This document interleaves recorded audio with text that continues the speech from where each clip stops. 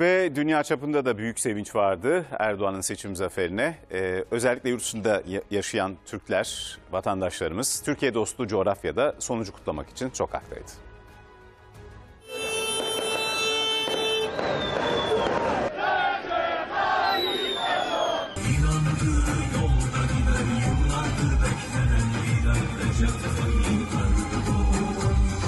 Almanya, Fransa, İngiltere, Kudüs.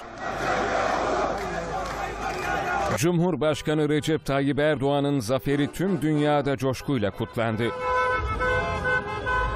Başkan Erdoğan'ın seçim zaferi Almanya'nın her şehrinde kutlanıyor.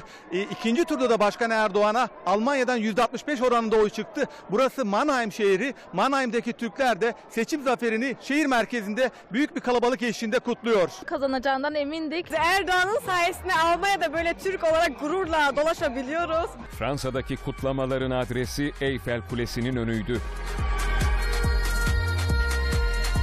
şu an gece yarısına saatler gece yarısına geliyor ve buradaki kutlama gösterileri devam ediyor.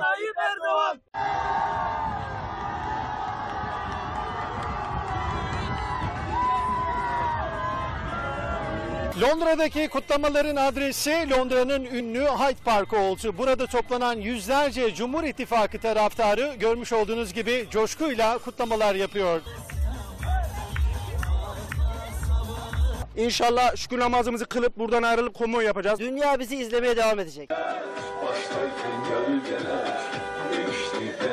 Burası da Kuzey Kıbrıs Türk Cumhuriyeti. Zaferin coşkusu sokaklara taştı.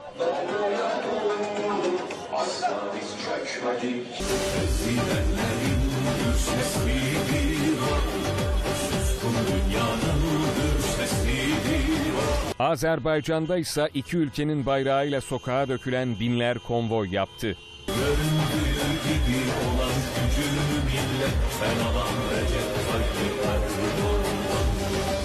Galibiyetin ardından Katar'ın başkenti Doha'daki El Cebir kuleleri Cumhurbaşkanı Erdoğan'ın fotoğrafı ve Türk bayrağıyla ışıklandırıldı. Sokaklar Erdoğan sloganlarıyla yankılandı.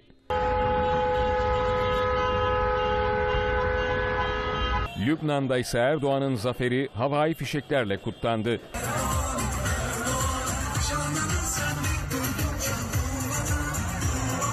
Seçim sonuçlarını takip eden Filistinliler Erdoğan'ın kazanmasının ardından tatlı dağıttı. Kudüs'te Mescid-i Aksa'ya toplanan Müslümanlarsa Erdoğan'ın zaferini dualarla kutladı. Kosova'da da camilerden teşrik tekbirleri okundu.